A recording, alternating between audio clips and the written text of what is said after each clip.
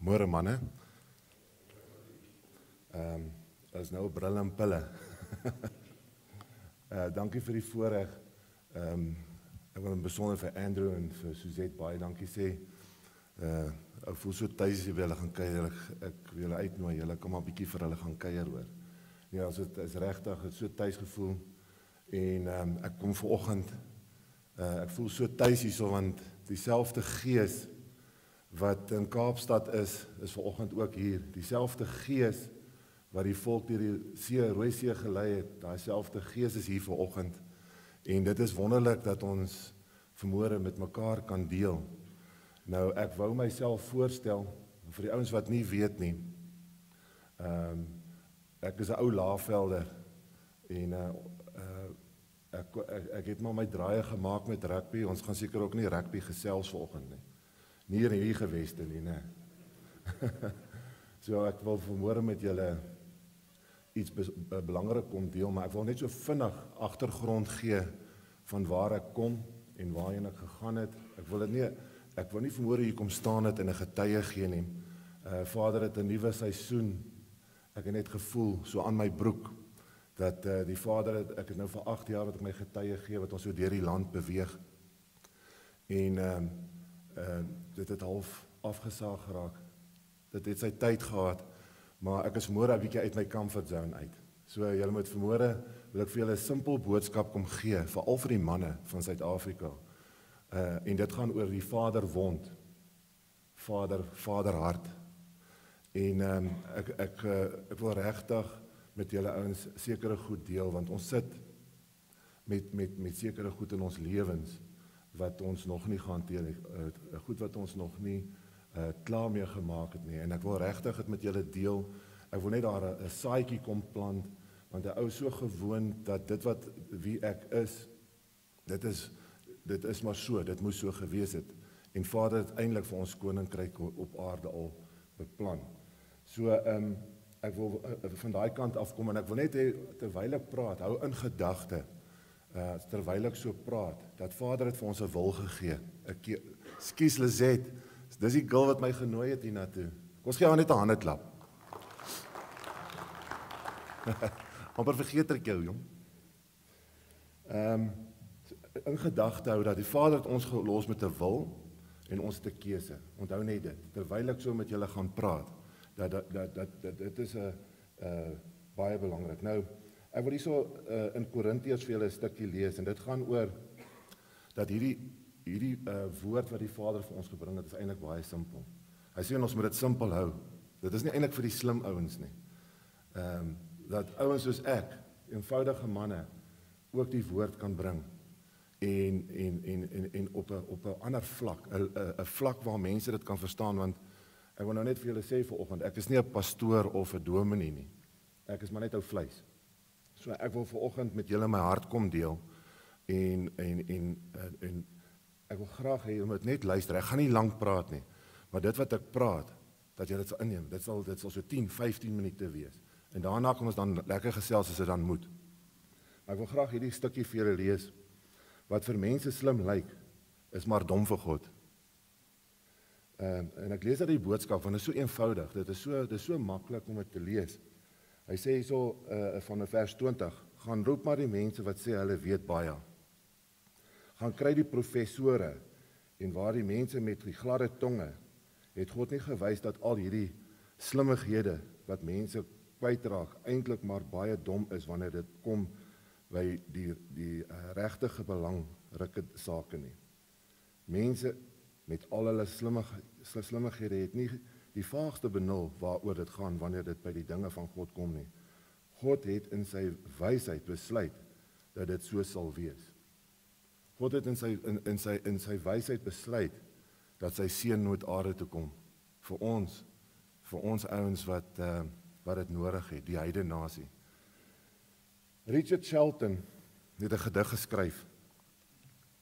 Nou, dit is dit is 'n bietjie in Engels vir die ouens wat Engels is hier vanoggend ek het vir julle ook geakkommodeer. Ehm um, en dit gaan nou vanoggend onthou nou ek sê onthou die die gedagte van 'n wil, jy het 'n keuse. Ehm um, Richard Richard Charlton wie ook al mag wees. Ken julle hom? O, alraai. Maar hy het 'n wysheid hierso geraak geskryf 'n 'n gedig. Do you see now that fathers who cannot love their sons have sons who cannot love? It was not your fault and it was not mine. I needed you I needed your love. I recover, uh, re recovered without it. So I recovered without it. Now I no longer I no longer needed anything. As ons oupa grootjies nê was Tweede Wêreldoorlog toe. Wie die kinders opgepas daar op die plaas? Ouma. Oupa het teruggekom, wie die broek gedra. Ouma was in beheer van van die van hierdie huisgesin. En so so het ons deur die jare gekom as as as manne. En uh, luister my uit. Moenie nou sê ek veroordeel nie. Luister my uit tot ek by die punt kom waar ek wil kom. So uh da, daar het 'n uh, dit was maar sameloop van omstandighede gewees. Stem julle saam? Dit is dit was nie my fout of jou fout of oupa se fout dat uh ek ek weet ek het self hoekom hierdie ding my aangeraak het en is dat ek het self in huis groot geword waar 'n pa nie vir my gesê het Rudy ek is lief vir jou nie. En uh en dit het 'n groot leemte gelos in my lewe. Ek het ek, ek dit wat dit het my gejaag na iets wat dit was 'n was 'n leemte. Ek het eendag nie baie lank voor my net voor my vader oorlede is. Vir hom gesê pa, jy sê nooit vir my jy's lief vir my nie. Ja, ek is lief vir julle. Maar hy kon nooit sê ek is lief vir jou nie, maar dit was nie sy skuld nie, want hy het so groot geword en oupa, my oupa het so groot geword. So ehm um, dit was dit was maar omstandighede met die sameloop daarvan. So daar was regtig daar is 'n regtige vaderhonger by ons. En ek glo nie ek is die enigste een wat hier sit ver oggend wat so voel nie. Ehm um, ons het maar almal as ons terugdink en ek veralgemeen ou, hier is van julle wat dalk 'n vader gehad het wat vir jou kon 'n drukkie gee en sê weet jy ek is trots op jou. Maar ek dink meeste van ons ouens, ek het uh, eergisterand het ons by in ons kerk 'n uh, ouetjie ingekom wat dat wat nou net 4 jaar uit die uit die tronk uit is. Hy's uit, uit, uitgekom 4 jaar in die tronk en hy sê oom, my pa is ook in die tronk. So ehm um, wat se wat se raamwerk was daar vir daai ouetjie? En ehm uh, en dit is dit dit is hartseer. Ehm uh, die afwesigheid van 'n vader laat magtige leemte in in 'n groot gat wat nooit gevul kon word nie. Die enkele grootste leemte as ook pynlikste in 'n mens se lewe, veral by by ons as mans. Nou ja, hier lê die groot gevaar manne.